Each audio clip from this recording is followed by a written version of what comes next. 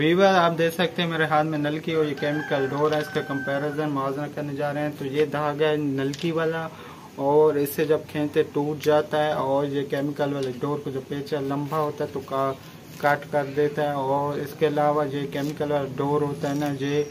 मज़बूत होता है और ये एडवांस टेक्नोलॉजी एडवांस में तो काट उड़ाई जाती है और ये कच्चा पर काट देता है। जिससे मांझा लगाया जाता है नलकी वाले धागे से और ये केमिकल वाला फैक्ट्री में बनता है तो like and share and subscribe करें।